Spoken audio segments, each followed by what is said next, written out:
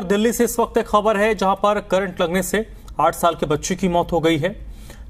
General store में रखे fridge से बच्चा करंट चपेट में आया। और फ़िलहाल बच्चे के शव के साथ जो परिजन हैं, वो दुकान के बाहर धरने पर बैठे हैं। परिजन इंसाफ की मांग कर रहे हैं। मौके पर पुलिस भी मौजूद है। अभी तक बच्चे का अंतिम संस्कार नहीं किया गया है। दिल्ली के ईस्ट सागरपुर का ये मामला है।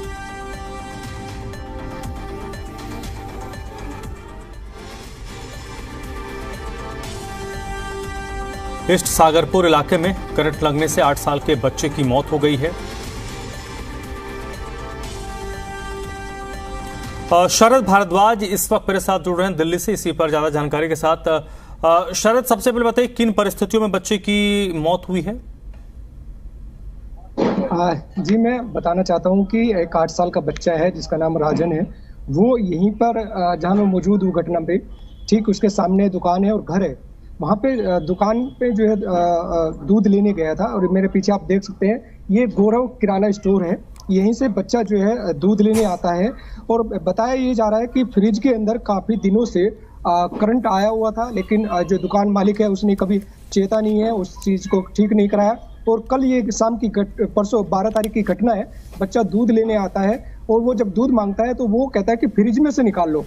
बच्चा जैसे फ्रिज के हाथ लगाता है तो उसको अ, करंट लग जाता है और वहीं पे चिपक जाता है। लेकिन जैसे तैसे बच्चे को दीनदयाल हॉस्पिटल ले जाते हैं जहाँ मृत डॉक्टरों ने मृत घोषित कर दिया। फिर जो है बच्चे का पोस्टमार्टम होता है परिजन लेकर आते हैं। लेकिन परिजन और यहाँ के निवासी जो लोग हैं वो बच्चे को न्याय दिलाने के लिए इस जनरल स्टोर पर जो है बच्चे की डेड बॉडी को रखकर यहाँ धरने पर बैठ गए रात भर। और जो समर्थक थे, वो जो है कैलाशपुरी पालम रोड पर उन्होंने रास्ता जाम कर दिया। पुलिस ने एस एच ओ आए थे मौके पर, उन्होंने जाम तो खुलवा दिया, लेकिन रात भर जो है जनरल स्टोर के सामने बच्चे की डेड बॉडी को रखकर जो है लोग प्रदर्शन करते रहे, मांग करते रहे और सुबह होते होते एसीपी, एसएचओ और यहाँ के मौजूदा जो क्षेत्रीय नेता है, वो यहाँ आते हैं, परिजनों को समझाते हैं परिजन फिर जो है, उनकी बातों को कहीं ना कहीं क्योंकि न्याय की जब बात की गई है तो पुलिस की तरफ़ से पूरा भरोसा दिलाया गया है कि आप जो मांग कर रहे हैं, वो पूरा न्याय होगा, जो कार्रवाई हो रही है, क्योंकि एफआईआर दर्ज हो चुकी है, और अभी जो है, कुछ ही देर पहले परिजन जो है उसकी डेड बॉडी को लेके, शमशान घाट लेके गए हैं, जहाँ बच्चे का अंतिम संस्कार जो है, पुलिस की निगरानी में किया जाएगा। जी। कोई सहमति बन पाई है? क्योंकि मुआवजे की मांग हो रही है। तो प्रशासन क्या इसमें इंटरवीन कर रहा है मुआवजे को लेकर? जी जो पूर्व सांसद हैं महाबल मिश्रा, वो आए हैं यहाँ, जो क्षेत्र के पार्षद है, वो यहाँ पर मौजूद आए हैं। उन परिवार से बैठ के बात हुई है और जो है कहीं ना कहीं एक आर्थिक मदद की भी मांग की गई है। उन्होंने जो है सरकार से गुहार लगाई है कि जो आपकी मांग है आर्थिक की, उसकी भी मदद की जाएगी।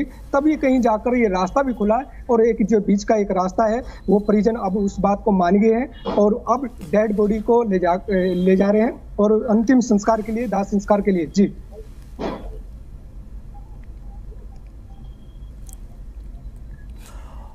तो परिजन जो हैं वो क्या इस बात को लेकर स्ट्रिक हैं कि जब तक कोई मुआवजा नहीं दिया जाएगा बच्चे का अंतिम संस्कार नहीं किया जाएगा?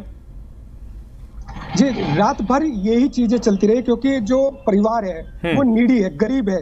और छोटा बच्चा है, जो फादर है, उसका वो अपना मजदूरी करके गुजारा करता है। तो परिवार वाले भी और साथ में जो यहाँ मौजूद थे, जो समर्थक थे, उनका भी कहना था कि आर्थिक अगर मदद मिल जाए तो कहीं ना कहीं दूसरा आर्थिक के पहले इनकी एक मांग थी कि जो जनरल स्टोर जो गौरव किराना स्टोर है, वो जो मालिक है, उसको जो है पुलिस पकड़े, कार्रवाई करे, क्योंकि जो लोगों का कहना है कि परिवार का आरोप भी है पिछले कई दिनों से हफ़्ते दस दिन से जो है फ्रिज में करंट आ रहा था, जो भी यहाँ पे दुकानदार सामान लेने के लिए कोई आता था तो वो जैसे ही उसको छूते थे, कहते कि, अंकल, इसमें करंट है।